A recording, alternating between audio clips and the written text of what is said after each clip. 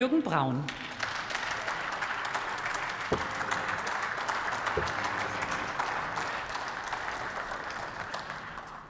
Äh, verehrte Frau Präsidentin, liebe Kollegen, meine sehr verehrten Damen und Herren!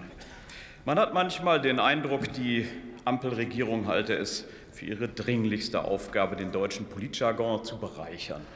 Anders lässt sich die Flut an Wortneuschöpfungen nicht erklären, mit denen die Ampel Monat für Monat um sich wirft. Nach der feministischen Außenpolitik und der feministischen Entwicklungspolitik kommt jetzt auch noch der sogenannte natürliche Klimaschutz. Was also soll dieser neue natürliche Klimaschutz sein? In der Unterrichtung erklärt uns die Ampelregierung, er umfasse Maßnahmen zum unmittelbaren Schutz, zur Stärkung und zur Wiederherstellung von Ökosystemen. Der natürliche Klimaschutz schafft beispielsweise Retentionsräume als Schutz vor lokalen Überschwemmungen nach Starkregenergüssen. Das hört sich alles schön an, ist aber keineswegs eine Erfindung der Ampel oder gar der Grünen, denn all das betrieben schon die Ingenieure des 19. Jahrhunderts wie Johann Gottfried Tuller, der den Oberrhein begradigt hat. Natürlicher Klimaschutz ist also alter Wein in neuen Schläuchen, Ausgeburt des Tourette-Syndroms der Grünen, die überall zwanghaft den Begriff Klima unterbringen müssen. Statt natürlicher Klimaschutz hätte man auch einfach Naturschutz sagen können. Und die Gründer der AfD und die Gründer der AfD haben sich übrigens schon für Naturschutz stark gemacht, als es die Grünen noch gar nicht gab. Denn der Naturschutz ist ein urkonservatives Anliegen. Aber wer von Naturschutz spricht, der darf von der massiven Zerstörung von Biotopen durch Windindustrieanlagen nicht schweigen. Das ist sogar dem zwangsfinanzierten MDR nicht entgangen. Zitat das, was für das Klima gut sein soll, muss nicht automatisch auch für den Naturschutz gut sein. Sehr richtig. Mit dem von der Ampel finanzierten völlig irrationalen Ausbau der Windkraft ist der Weg frei für ungebremste Waldrodung, Flächenversiegelung und Artensterben. Sogar das staatsfinanzierte Helmholtz-Institut für Umweltforschung gibt zu, dass inzwischen fast 20 Prozent der deutschen Windindustrieanlagen in Schutzgebieten liegen.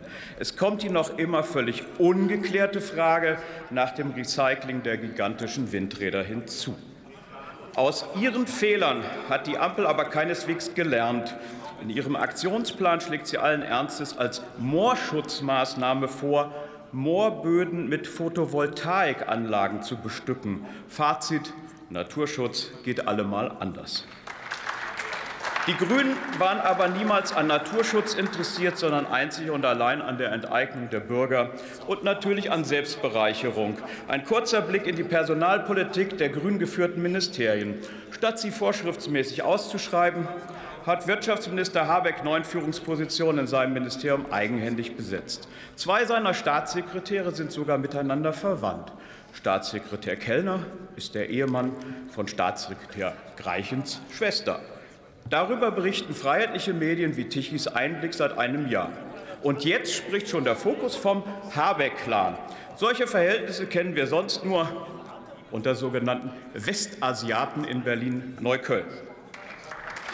Das perfideste ist aber, dass eben diese Staatssekretäre Habecks ihres Heizungsverbot konzipiert haben.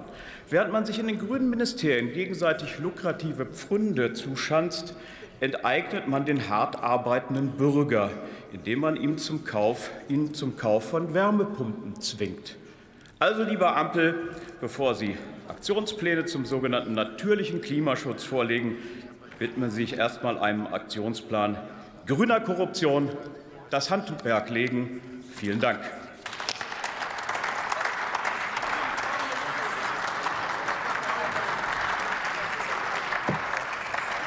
Liebe Kolleginnen und Kollegen, ich möchte Sie noch mal daran erinnern, dass nach der nächsten Rednerin die namentliche Abstimmung endet. Nur für den Fall, dass irgendjemand seine Stimme noch nicht abgegeben hat, auch in der Lobby die namentliche Abstimmung endet nach der nächsten Rednerin.